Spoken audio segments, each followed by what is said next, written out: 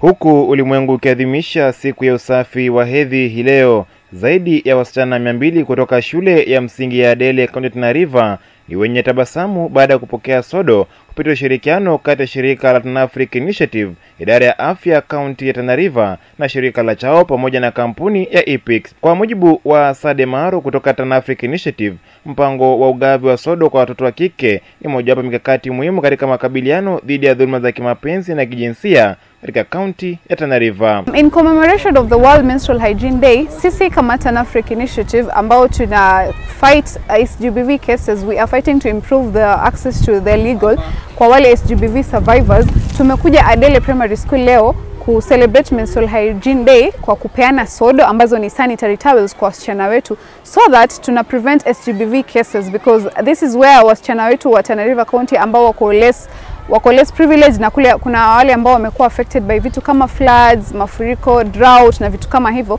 wanakuwa taken advantage of na watu the perpetrators huku nje. So in the name of ku, kutafuta sanitary towels wana kuna rape cases zinatokea, watu wanabakwa mimba za mapema, so we are here to make sure that mtoto wa kike anakuwa preserved, hakui taken advantage of because of sanitary towels. Tumemanage kufanya donations and hizo donations leo ndo tumeletea wasichana hapa, tumemanage kuwapatia uh, 280 girls sanitary towels so that they improve their hygiene. Hafla hiyo imekuwa kisa cha mgeni njoo mwenyeji apone, kwani kulingana na Amina Aden, mmoja wa walimu katika shule hiyo, idadi kubwa ya wasichana wanapitia changamoto ya kupata sodo, swala ambalo limelazimu kuingia mifukoni mwao angalau kuokolea jahazi. Kuna watoto hata hapa yetu, kuna watoto wengi hawajakuja shule, hatukuwa na hizo always. In fact mimi nili approach the head teacher aka afford kununua two boxes of always ambayo tunapatia at least on daily basis tunapatia watoto two pieces ili ku wa retain the school. I take this opportunity to thank this initiative for visiting us this morning and giving us good advices how to use the sanitary towels. Nachukua nafasi hii kushukuru sana Mwenyezi Mungu.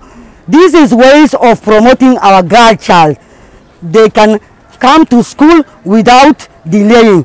Na chukua nafasi hii tena pia kuomba initiative hii pamoja na nyingine waendelee kusaidia wasichana wetu so that they can attend the school. Hayo yamejiri huku afisa kutoka idara ya afya na washirika wengine wakihimiza mafunzo ya usafi wa hedhi kuendelezwa mashinani ili kumhamasisha mtoto wa kike kukumbatia hali hiyo na kuendeleza masomo bila kukosa sawia na wanafunzi wengine.